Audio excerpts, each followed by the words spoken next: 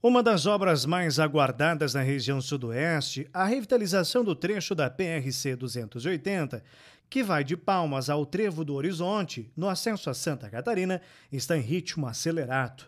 Dos 59,55 quilômetros mais degradados da rodovia, até esta semana já foram restaurados 17,5 quilômetros de meia pista. O investimento do governo do estado é de 107,4 milhões de reais a região já aguardava por melhorias de trafegabilidade desta rodovia por 20 anos. O lado direito da via pavimentado agora recebe o concreto do lado esquerdo, totalizando 5,5 quilômetros concluídos.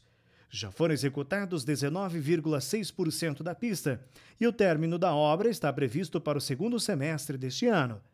A obra é a primeira do estado a receber restauração com a técnica que utiliza o concreto para recuperação de asfaltos deteriorados.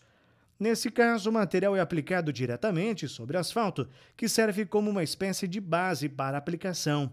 Enquanto o recapeamento com asfalto comum dura em média 5 anos, com esta técnica, o tempo de vida útil do pavimento é de no mínimo 20 anos e pode chegar a 30 anos. Por conta das obras, o trecho de Palmas ao Trevo do Horizonte terá bloqueio de tráfego até o fim dos trabalhos na via. Portanto, é recomendável que os motoristas evitem o trajeto.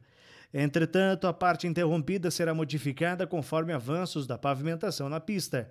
Para quem segue para Curitiba e Paranaguá, a orientação é ir por Guarapuava.